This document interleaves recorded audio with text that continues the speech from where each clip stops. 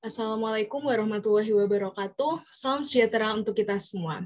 Di sini kami dari kelompok 1, Skillful Virtual Internship, grup 14 yang beranggotakan Afif Bazid, Fikri Munafri, dan saya sendiri Miftah Roshida Fitri akan presentasikan mengenai proyek yang telah kami kerjakan, yaitu redesign website Prodi dengan judul Pendanaan Mudah dan Jangkauan Luas sebuah disclaimer bahwa proyek ini merupakan bagian dari training UI UX yang diselenggarakan oleh Skillful bekerja sama dengan Kampus Merdeka. Prodi merupakan challenge partner dan proyek ini tidak terikat kontrak apa pun dengan Prodi. Sebelum memahami proyek, kami memahami brief konteks yang ada dan masalah yang kami hadapi. Itu terdapat challenge partner brief yang kami dapatkan untuk website user interference, redesign website Prodi sehingga dapat terjangkau oleh semua pengguna dan mudah digunakan. Untuk konteksnya sendiri yaitu mencari referensi yang berkait yang terkait dengan P2P lending dan agrikultur karena Prodi merupakan vintage yang bergerak pada P2P lending dan agrikultur, juga khususnya redesign bagian pengajuan pembiayaan, dan untuk bisnis model integration diharapkan dapat memperluas mitra petani yang bekerja sama dengan Crowdy. mengenai masalah yang kita hadapi karena Indonesia merupakan negara agraris, maka banyak penduduknya yang bekerja sebagai petani. Sayangnya banyak petani yang belum sejahtera. Maka dari itu, di sini Krodi hadir untuk memberi kesempatan pengembangan usaha yang terintegrasi dengan teknologi untuk para petani di Indonesia. Selain itu, kami juga ingin memahami pengguna lebih dalam lagi, yaitu dengan melaksanakan sebuah research dan metodologi yang kita gunakan. Research yang kita gunakan ada dua, yaitu secondary research dan interview. Secondary research melalui online searching, yaitu untuk mencari berita yang berkaitan dengan prodi dan masalah pertanian di Indonesia.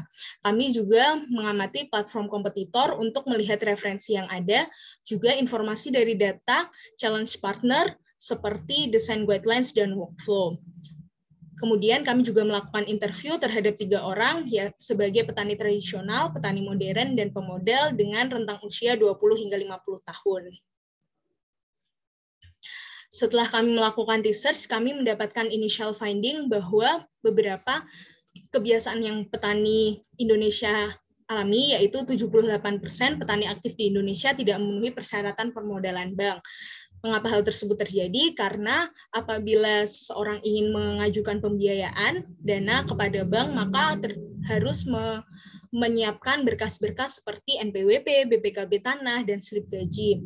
Tapi di Indonesia sendiri banyak petani yang bekerja sebagai petani penggarap atau petani yang hanya melakukan kegiatan cocok tanam namun lahan pertanian bukan miliknya. Selain itu, kami juga menemukan bahwa 70% petani berusia lebih dari 60 tahun yang kurang mengikuti perkembangan teknologi. Hal tersebut terjadi karena banyak anak muda Indonesia yang tidak tertarik untuk bekerja sebagai petani dan banyak petani yang sudah lanjut usia sehingga penerimaan informasi cukup terbatas dan kecakapan teknologinya bisa dibilang sedang hingga rendah. Selain itu, kami juga menemukan bahwa pengguna kesusahan mengajukan pembiayaan pada platform Crowdy karena tidak ada langkah atau alur yang menjelaskan bagaimana pengajuan pembiayaan secara detail pada website. Berikut user persona yang telah kami terapkan yaitu petani tradisional bernama Zainuddin dengan kebiasaan bertani menggunakan metode pertanian tradisional atau bertani hanya dengan satu jenis tanaman saja seperti padi saja atau jagung saja.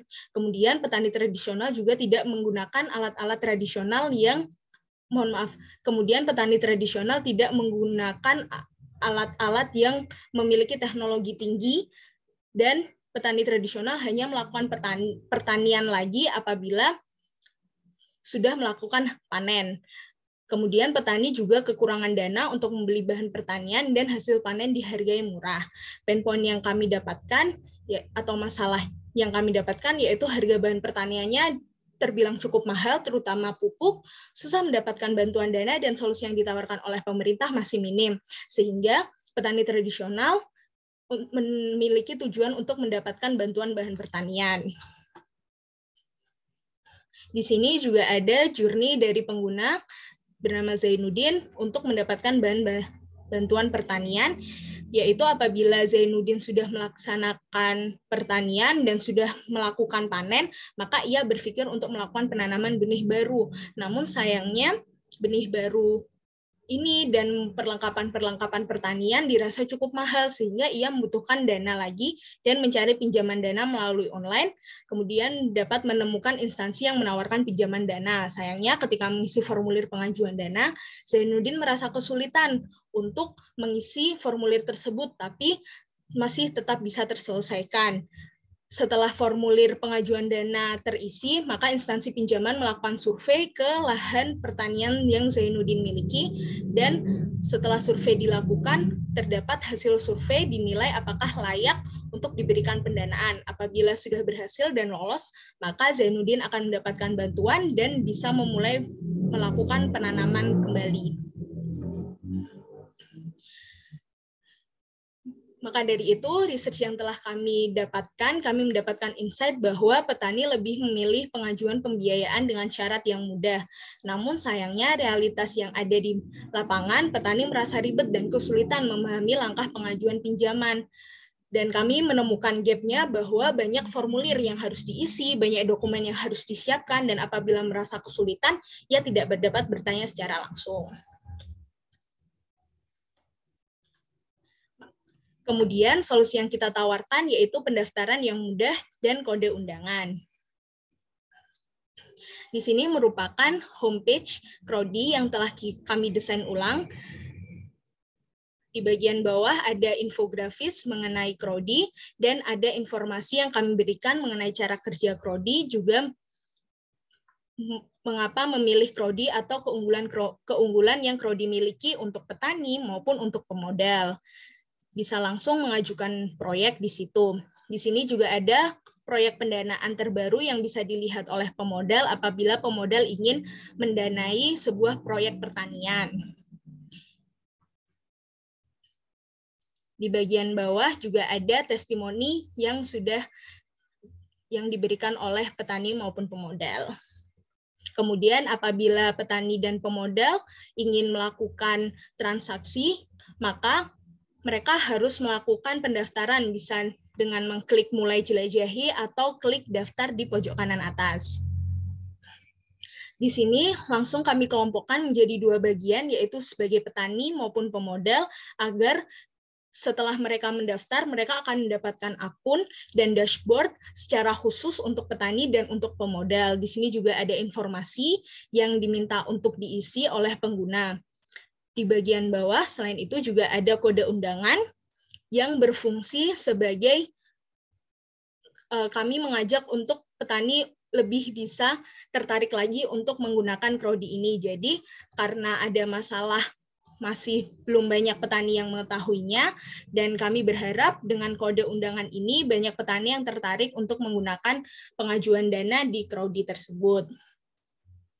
Selanjutnya, di sini kami juga mengelompokkan beberapa informasi yang diminta untuk mengisi formulir seperti data diri, detail pertanian. Di sini ada detail pertanian, kemudian ada upload foto, dan juga konfirmasi data. Apabila pengguna ingin merevisi lagi atau ada kesalahan, maka bisa mengubah datanya, dan apabila sudah benar, maka bisa langsung mendaftar. Di sini juga ada melakukan verifikasi email yang dikirimkan langsung kepada email pengguna. Apabila sudah selesai, solusi kedua yang kami tawarkan yaitu sistem pengajuan pinjaman yang simple. Saat petani ingin mengajukan pinjaman dana, maka di sini petani bisa langsung klik buat proyek baru dibuat proyek baru ini hanya terdapat dua informasi yang dibutuhkan, yaitu tipe komoditas dan biaya yang diajukan dengan maksimal pinjaman yang sudah tertera. Setelah itu, petani bisa langsung mengajukan proyek dengan menyetujui kontrak budidaya tersebut. Setelah petani mengajukan proyek, maka survei akan dilakukan oleh agen Crowdy dan petani menunggu survei. Proyek dilakukan, survei dilakukan oleh agen Crowdy ke lahan pertanian pengguna. Kemudian saat sudah survei dilakukan, maka petani menunggu pendanaan yang akan diberikan oleh Krodi. Dan yang ketiga yaitu panduan yang mudah dimengerti. Di sini karena terdapat sebuah masalah banyak petani yang masih kesulitan menggunakan website Krodi ini, maka kami menawarkan yaitu panduan penggunaan website Prodi. Salah satunya cara mengajukan proyek. Di sini terdapat prototipe interaktif yang bisa diklik oleh pengguna, seperti membuat proyek baru, langsung bisa diisi tipe komoditasnya maupun biaya yang diajukan. Kemudian terdapat pula langkah-langkah di bagian kiri yang bisa diklik secara interaktif oleh pengguna apabila pengguna merasa kesulitan dengan langkah sebelumnya. Di bagian atas juga terdapat informasi yang menjelaskan tentang panduannya.